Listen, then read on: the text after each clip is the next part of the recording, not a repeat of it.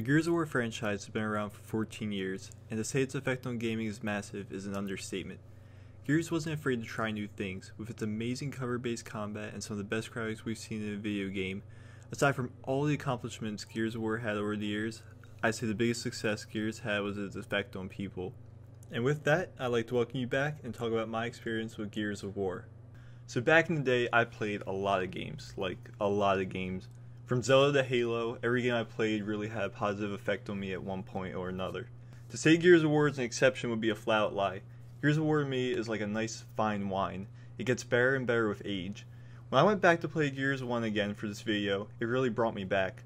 I remember the simpler time without the stress of work or responsibility, a time where I could just use my day however I liked. My first experience with Gears 1 was very interesting and almost by chance. For those who have watched my Dear Halo video, you might remember my friend Mike. For those of you who haven't, I would consider Mike one of my best friends. We grew up together gaming, lifting, and going through school. I would often spend my childhood at his house playing the original Xbox and doing all sorts of things. So let me paint a picture. The year is 2006, no worries in the world. I'm spending another day with Mike, and his mom offers to take us to local Sportsplex down the road. The Sportsplex had actually just recently opened a little gaming room where you could pay $5 an hour to play. They had Xbox 360s, GameCubes, PlayStations, you name it. Mike and I were obviously drawn to Xbox 360s, being the newest console to come out around that time for us. So Mike's mom had given us $20 each, so we had four whole hours to do whatever we wanted. We noticed a game called Gears of War sitting on top of the 360. Gears had just recently come out, and the media was all over it. Us being very young at the time had no idea what we were about to get into. So we load up Gears of War, and let me tell you, it was insane. It was the first time we'd seen graphics that good for a game ever. The violence was awesome, especially, and I know everyone knows it, the Lancer chainsaw. I remember the first time chainsawing a locust and popping off at this little sportsplex. We spent all day playing Gears of War 1. We actually were able to reach the part where you drive that massive truck at night and have to avoid Kryll. When I tell you, when I finally got back home, I did so many chores around that house, from mowing the lawn to cleaning toilets, I wanted Gears of War. After days and days of chores, I made just enough money to go to EB Games and buy Gears of War.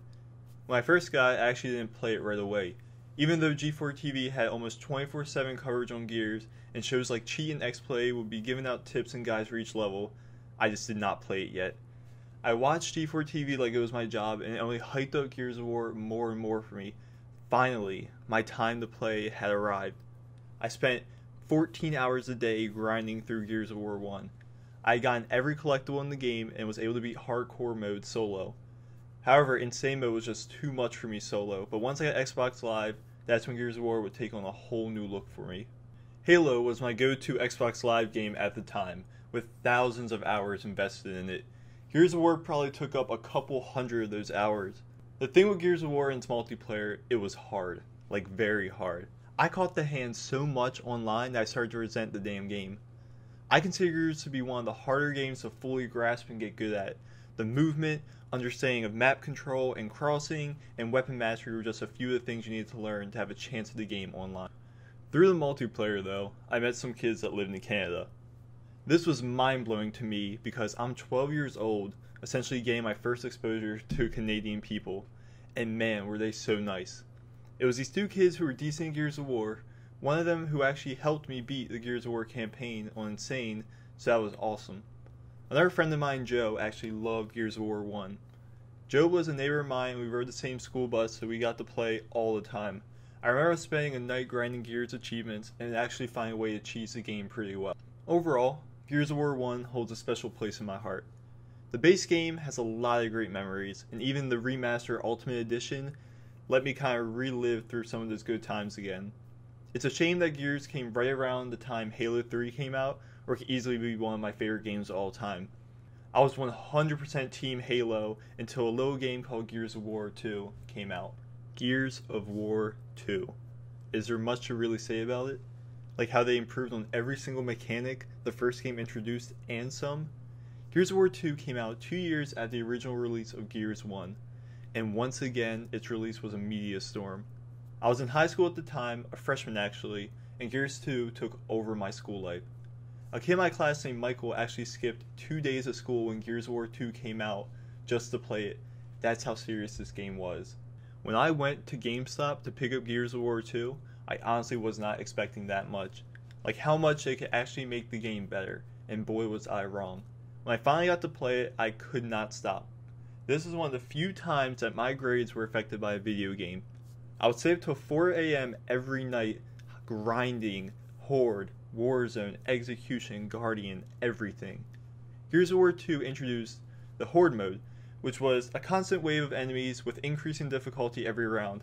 I played this for hours, for days with all my friends. It took over my life. I'm not sure why, but this mode had the ability to just keep drawing you back every single day. The campaign for Gears of War 2 was fantastic as well. Gears 2 was on a grander scale as opposed to Gears 1, and it felt like everything you did in the campaign had an effect on the people around you. They had new guns, new enemies, new maps. It was the whole package. My friends now play Gears of War 2 all the time. I have to say, Gears of War 2 is my favorite in the franchise, and to this day, something about just makes me happy. I don't know if it's the the graphics that they introduced were just better, or the levels were great. I remember maps like River was amazing for Horde mode. It was just great. I love it. I definitely have to say Gears of War 2 is my favorite in the franchise. Jump ahead a few years to 2011, Gears of War 3. Around this time, a lot was going on in my life. My mom and I had to quickly pick up and move away with a few hours' notice, and I was without a bed for a few months at our new house, so the couch and I became really good friends. During that time, I picked up Gears of War 3. I'll be honest, I enjoyed the game, it was just too colorful for me. I don't know, it just didn't have that same gritty look that Gears 1 and 2 had. Nitpicking aside, Gears of War 3 was great, with improved movement, even more guns, and crazier maps to play along with a ton of game modes. Gears of War 3 was a hell of a ride. Although Gears of War 2 is my favorite, Gears 3 sits really well with me. I played a lot, like a lot of Gears of War 3 multiplayer in high school and in college. A few of my friends, Dennis, Dima, Brad, Mitch, and Ivan, would play almost every single night at one point.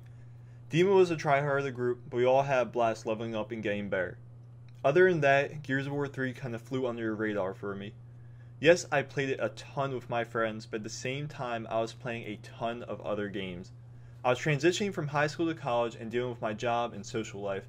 I've replayed through Gears 1 and 2 plenty of times, but Gears 3 I've only played through just a handful of times. I feel like I should mention Gears Judgment, but man, I'm not sure what they were thinking with that game. Honestly, I don't hate the game. I didn't mind the story. I thought it was cool to see kind of the previous events.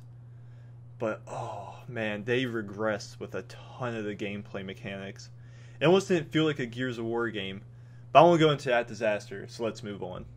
With Gears of War Judgment ultimately being Epic Games' last hurrah with the Gears franchise, Epic sold the franchise to Microsoft in 2014. The Coalition, essentially Microsoft owned Epic Games, took over the Gears IP. With new ownership, there was a hope for Gears.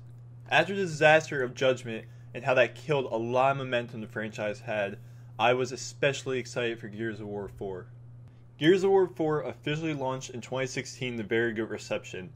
I personally loved the game. The campaign was the strongest it's been since Gears of War 2, in my opinion, and dug deeper into the lore of the Gears franchise. Unfortunately, like many games coming out nowadays, I don't have the same time I did when I was younger. Gears 4 came during a time where I'd switched majors in college and had no idea where I was going in my life. I was a mess. When I could play, it was in short bursts, but even as seldom as I played, it was amazing. A few of my friends had also picked the game up and we grinded when we could.